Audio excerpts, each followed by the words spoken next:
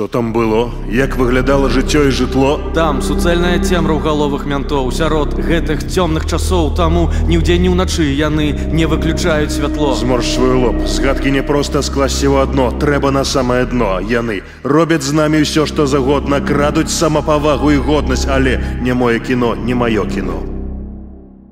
То я не буду маўчаць пра скрадзены час і жаданне прынізіць пра ціхі адчай нашых людзей, якія там засталіся. Неважна дзе, ў сізаці турме, альбо можа быць у калоніі.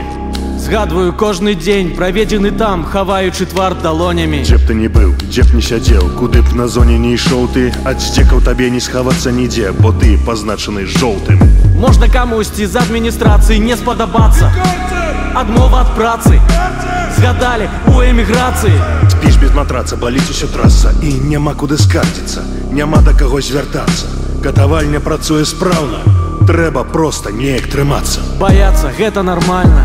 Не давяраць, чакаць небяспекі. Сусед падазроны нейкі. Страх захавае ў табе чалавека.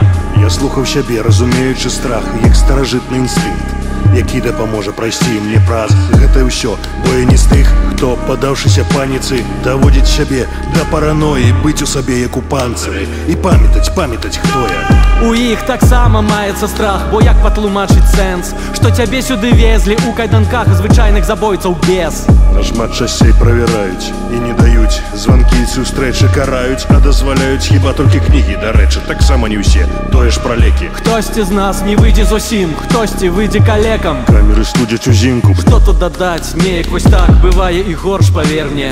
І яшчэ далёка не факт, што выйдзеш, як скончыцца тэрмін. яшчэ адзін дзень, неяк адолю, заўтра чакае такі ж няпросты. У гэтым годзе на адзін болей, бо ён высакосны.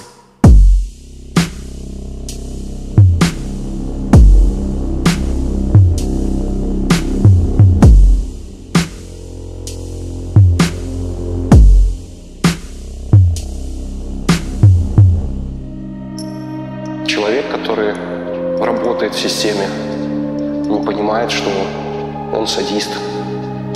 И быть садистом для многих людей не является проблемой или каким-то моральным выбором. У камеры нельга сядзець, можна толькі хадзіць альбо стаяць. Обувь, которая, в которой невозможно ходить. Там вельмі душна, там усе сцены ў плесені, у грыбку. начиная от переполненных камер, э, заканчивая э, реальными избиениями и применением электрошокеров, э, дубинок и всего остального. И этим пыткам подвергаются люди каждый день.